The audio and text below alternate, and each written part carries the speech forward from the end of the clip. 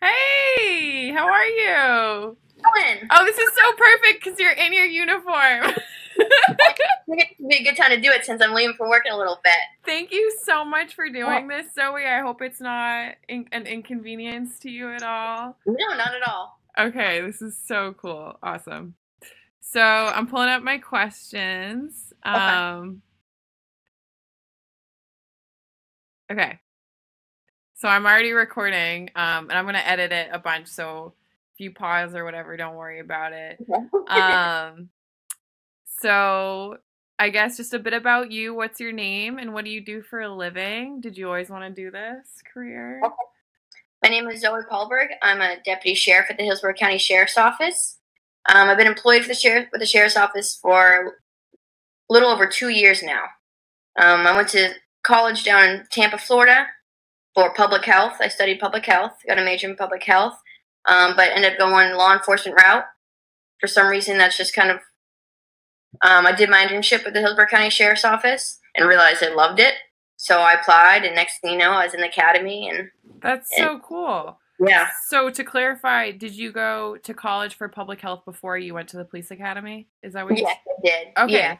Very And cool. my, my last semester of school, um, I did my internship. That's when I realized I love law enforcement. So then I, I applied to the police academy and the Hillsborough County Sheriff's Office and got in and went from there. That's awesome. So the connection between the public health brought you to the law Yeah. enforcement field.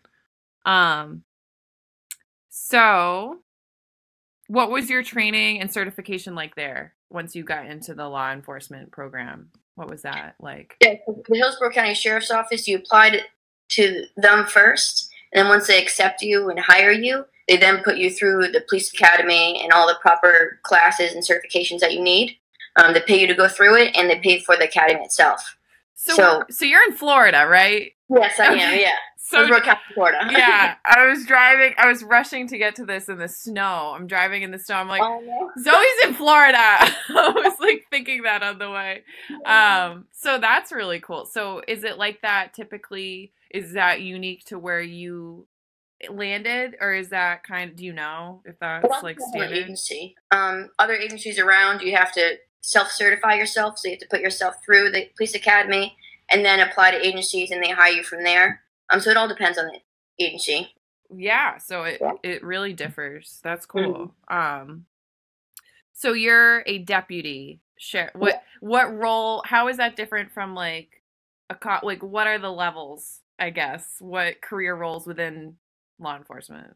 Right. So deputy is um, for the county. So, Oh, Hillsborough County, we cover all the unincorporated areas of Hillsborough County. Um, and then officer, police officer would be the city.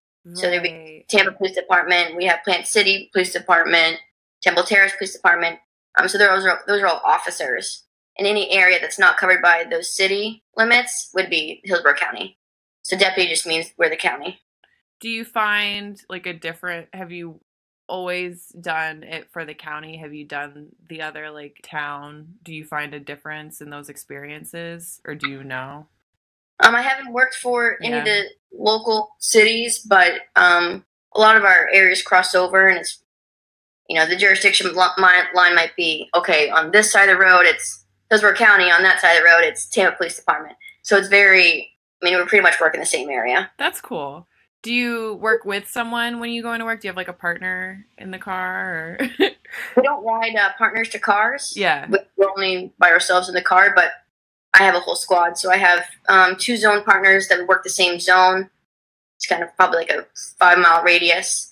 And then within my whole area, I have other zone partners and, and squad mates.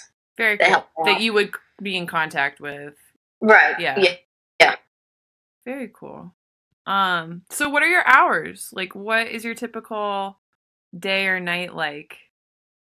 So my hours are 6 p.m. to 6 a.m. Um, it's 12 hour shifts. Wow. We work 84 hours bi weekly. So we have short weeks and long weeks. This week is my long week. So I work Monday, Tuesday, Friday, Saturday, Sunday. And then, so five hour, 12 hour, five 12 hour shifts. Yeah. And then my short week, I work Wednesday, Thursday. Oh wow. So I have 60 hour weeks and 24 hour weeks. Do you like that? That sounds nice. I would like I, that. I do. I like it a lot. Yeah. The short weeks you have the weekend off, so I have every other weekend off, and it, it balances out well. Yeah, that would be nice on the short weeks. Um Okay. So what are your favorite slash least favorite parts of your job? My favorite part is um, well, every day's different. Yeah. You never know. You never know what you know. That could be a good thing. It could be a bad thing. Um, but every day's different. So you're always, you know, there's always something different. You're meeting a ton of people. You work for an agency, um, so you, you have a lot of opportunities, career opportunities, and it's you help people all day. yeah. So it's pretty. It's really rewarding. That is really rewarding. Um Least favorite, uh, working night shift. messes up your internal internal clock. Um, but you know it's doable, and and the schedule is I like the schedule a lot, so that's That's great. Do you find I would think that the night shift is probably stranger calls too, or do you think that it doesn't it var- like it all depends. it all Um, depends. yeah, you can't predict that stuff. right, and I find day shift, especially in the area I work, maybe it's you know it depends on the area, um, but there's a lot of traffic during the day. There's a big mall there. Uh, it's very residential. There's a lot of businesses. So during the day, there's a lot of hustle and bustle. There's a lot of people. There's always traffic. There's always something going on during the day. At night, most of the businesses are closed, so it's mostly just residential calls at night. Um, so it's it's different calls that you're going to, but it's a little bit less chaotic at night because you're not dealing with the traffic and just influx of people. Yeah. Can you think of like I don't know how much you can speak to this, um, but like has there been experiences that stand out in your mind like um, that were either really rewarding or like kind of scary situations? Like, do you have?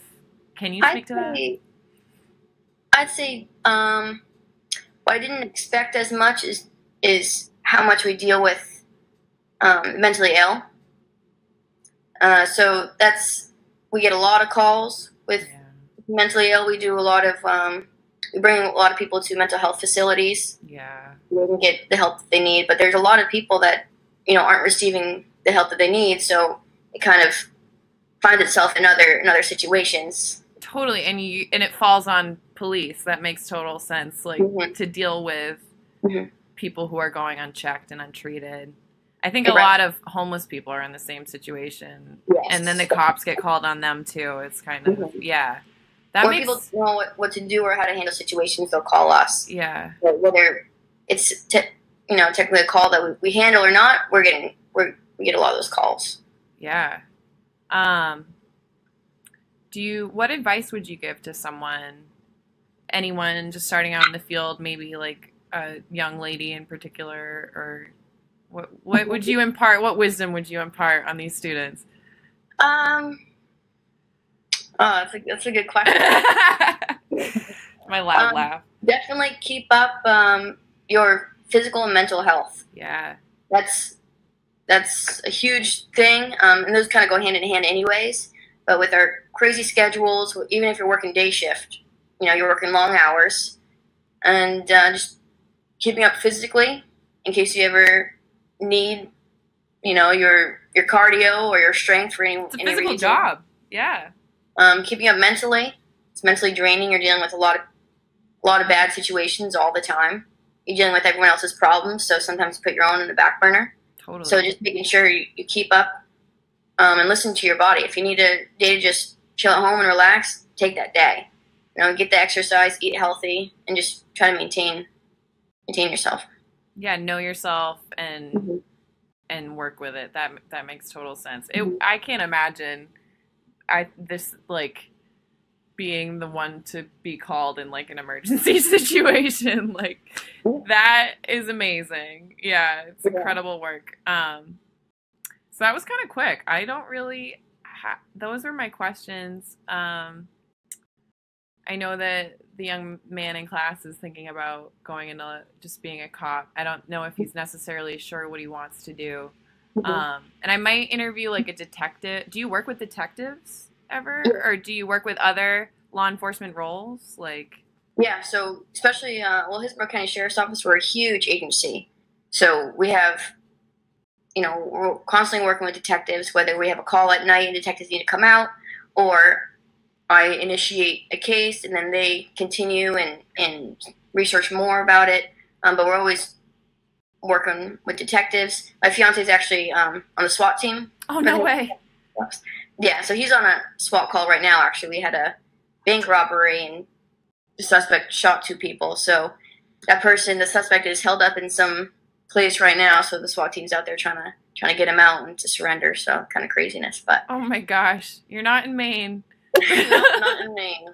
No, but wow. uh, so you're we work closely with with other people within the agency. Um, closely with child protective investigators when they go out and get a call about you know child abuse or child child neglect. We'll go out with them there with them to interview the family, the victims, the suspects, um, and then we do work with other agencies. If Tampa Police Department needs help on a call, since we're so close in jurisdiction, we'll go there and, and help them out, and vice versa if we ever need to. very cool. Um, what's the difference between so county and state police? It's just a larger jurisdiction. Yeah, so state police here is Florida Highway Patrol, FHP. They deal with all the major roads. So if we have a car accident on a major road, highway, or just even the major roads through the city or the towns, they usually handle those. Mm. So they deal with pretty much all that. Um, and then we do all the actual calls, the 911 calls is what we mostly deal with. Do you have to do anything to maintain your certification, or is it kind of like once you're licensed, you're licensed, or certified? I don't know. Yeah, for the sheriff's office, there's certain things we need to maintain every year. Um, we have what's called in service, so we have to show our proficiency with our firearm, um, defensive tactics.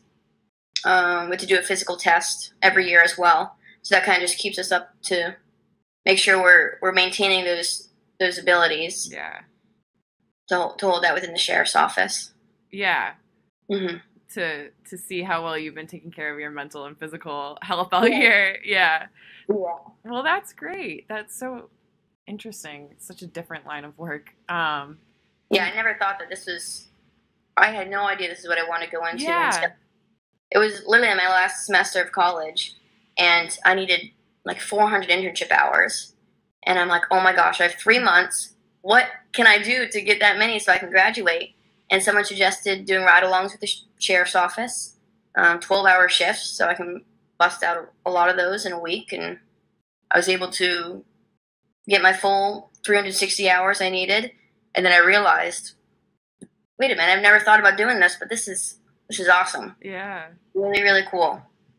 That's so great. And and I love that you you you're not sitting at a computer for the whole day, you know what I mean? Do you ever have to log things and like document? Yeah, so I'm on a computer all day pretty much. Oh, you are? Yeah. But you're moving. I'm, my car is my office. So I'm I'm that's another definitely another um, plus is that I'm not sitting at a desk all day. I'm not in a an office with the same spot. I'm in my car all day or all night. Um, and then we get dispatched through our radio system and our computers. So I write my reports on my computers. I log everything down on my computers. Everything's done pretty much done on the computer. Um, but I'm in my car, so it's I have everything I need in my car, as a as it would be like an office or a desk. That's so interesting. Um do they give you you like get a new car when you join? They give you the car. You Yeah. have- yeah, that's nice. Mhm. Um I don't think I have any other questions. I know, I just know when I sign off I'm going to be like, "Oh, I thought of that question." Um Yeah. Well, that's so cool. I don't know. I guess you probably see more like high profile crime in Florida, I would assume, than up here that goes on. Um, have you ever thought about like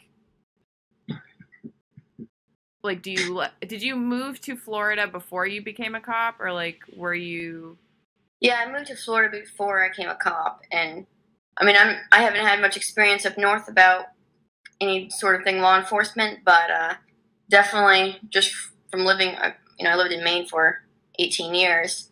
It definitely a lot more experience and more violent and high profile crimes going on down here. Yeah. A lot more shootings. We have probably a shooting every week or every two weeks, and we had a bank robbery today. We have, you know, we have robberies all the time. So it's it's really it's definitely I'm exposed to a lot more high profile violent crimes down here. That's gotta be scary. I mean, I guess knowing your team and knowing like who you're going in with probably helps some. Like you're never truly alone, right? Absolutely. Yeah. You have your whole squad, like I said, and you have your zone partners and you know, everyone needs to everyone's upheld to the same standards.